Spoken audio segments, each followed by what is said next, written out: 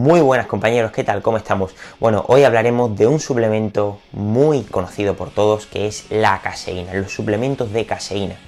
Ese suplemento que se suele enviar casi siempre antes de dormir, pre-cama, después de la cena y que es tan sumamente enviado en muchas preparaciones de estética. ¿Tiene esto gran justificación o no tiene ningún sentido? Para comenzar, vamos a hablar un poco de la composición biológica de las caseínas. Cuando se habla de caseínas, realmente no nos referimos simplemente a un tipo de proteína. Al igual que cuando hablamos del suero de la leche, de las proteínas del lactosuero, que hay varios tipos de proteínas del lactosuero, como la lactoferrina, la inmunoglobulina, pues cuando hablamos de la caseína, también hablamos de varios tipos de proteínas de caseína. Para que lo tengáis claro y para que tengáis unas nociones muy básicas, eh, casi siempre la whey protein, ¿vale? La proteína de suero de leche se obtiene de la leche de vaca. Al igual que los, suplementos de caseína también se obtienen de la leche de vaca. Para que lo tengáis muy claro. Del 100% de las proteínas de la leche de vaca, un 80% son proteínas de caseína. Y el 20% restante son las proteínas del lactosuero, es decir, lo que denominamos y lo que conocemos todos como la whey protein.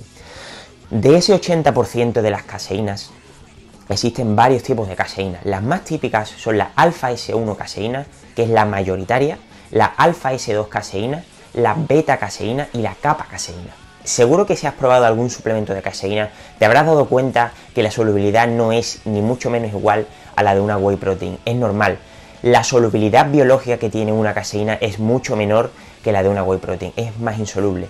Dentro de esto existen dos tipos de suplementos de caseína. Existen la caseína micelar, ya que la caseína está formada por micelas y luego dentro submicelas, y luego existen los caseinatos, que son más solubles que la caseína micelar. ¿Tiene algún sentido fisiológico tomar caseína antes de dormir en comparación con algún tipo de proteína rápida como la whey protein?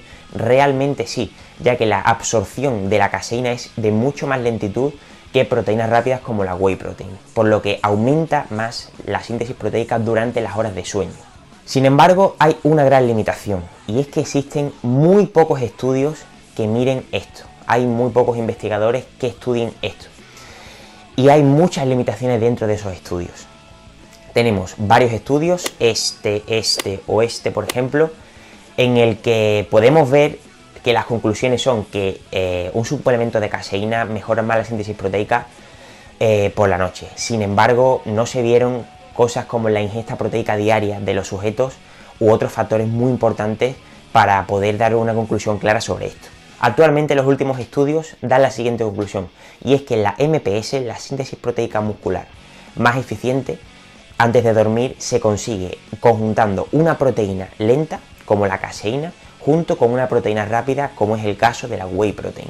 Aunque en otros estudios también se ha podido comprobar que alimentos altos en proteína de alta calidad en forma sólida, como los que tenéis en esta tabla muy interesante, eh, también pueden formar esa MPS que tanto buscamos antes de dormir. Pero como digo, hablamos de estudios con muchísimas limitaciones, ya que obviamente esas cantidades de proteína que dice esa tabla no es lo mismo para una persona con una masa muscular grande, si hablamos de un culturista que pesa 90 kilos de masa magra, a una persona que pesa 60 kilos y que tiene un cuerpo con muy poca masa muscular, con una composición corporal muy diferente al de un culturista. Entonces, cuando hablamos de estos temas, hablamos de muchas limitaciones. Sin embargo, esta fuente de caseína no solo puede obtenerse de un suplemento de caseína. Yo no la recomiendo realmente, ya que es una de las proteínas más caras dentro de todo el mercado de la suplementación deportiva. El kilo se va a 30 o 50 euros. Es un precio que no puede pagar todo el mundo.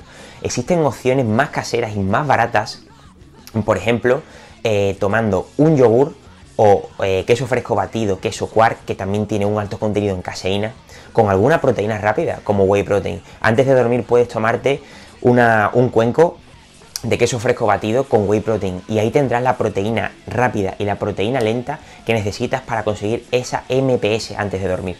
Como habréis podido ver en el vídeo, si de hecho los suplementos en sí ninguno es necesario, la caseína menos, porque es que la podemos encontrar en muchas fuentes de y, puede variar en muchísimas cosas como la ingesta diaria proteica de una persona o, o miles de factores. No tiene ningún sentido enviarla porque sí. Si tu economía te llega y la quieres usar, perfecto. Si tu economía no te llega, no la uses. No la uses. Hay opciones más caseras como lo que he dicho. Pues nada, compañeros, espero que el vídeo te haya servido y nada, nos vemos en el siguiente vídeo. Un fuerte abrazo a todos.